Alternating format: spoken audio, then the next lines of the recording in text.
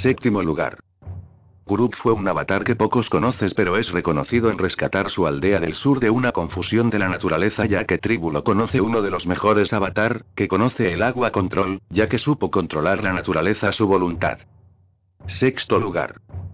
Esta que es tío del avatar Korra y es que se convirtió en un avatar negro ya que había vencido a Korra y destruyó la fuente del avatar dejando sin conexión con los otros avatar, y es que la fuente negra es la que hizo que él se convirtiera en el avatar negro y solo con la misma fuente avatar original pudo destruirlo, y dejando en el mundo espiritual en control.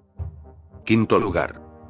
Esta Kyoshi defendió su pueblo de los corruptos que manipulaban las demás aldeas y solo un conflicto tuvo problemas con un emperador de tierra la cual fue acusada, tiempo después y el avatar lo resolvió diciendo de que si lo hizo y lo hizo por su pueblo que estaba siendo maltratado por corruptos emperadores en su tiempo de suera que estaba. Cuarto lugar. Esta Roku la cual empezó la gobernación de la Nación del Fuego la cual provocó hace 100 años y es eran amigos del Rey del Fuego Avatar pero sus ambiciones de su amigo el Rey Fuego, fueron más allá de lo que se pensaba pues desde ahí se sostuvo una pelea ya que tiempo después lo cual nunca se sabía nació Aang dejándolo todo en sus manos. Tercer lugar. Guan es el primer avatar y es por un error que él mismo provocó se convirtió en avatar una lucha de espíritus de Yin y el Yang se desató para cubrir y encerrar los espíritus, sin ser controlados por los seres humanos eran los inicios de los seres humanos en la Tierra dejándolo así que solo vivían en su voluntad de convivir y no fue así, porque gracias a las tortugas y su guía blanca se convirtió en un avatar para tener equilibrio al mundo entero. Segundo lugar.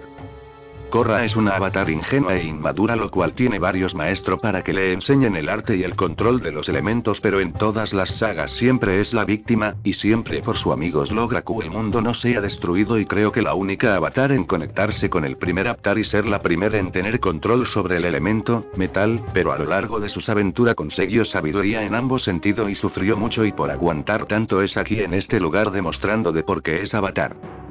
Primer lugar.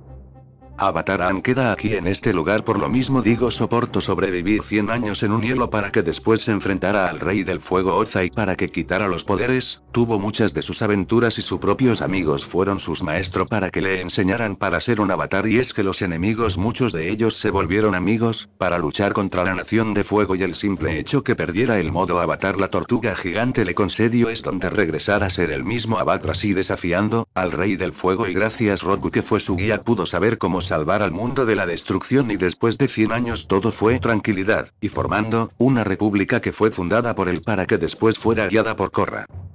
¿Qué avatar es el más fuerte y legendario o qué personaje fue el que dio vida a esta serie? Deja abajo tus comentarios de por qué y tu explicación.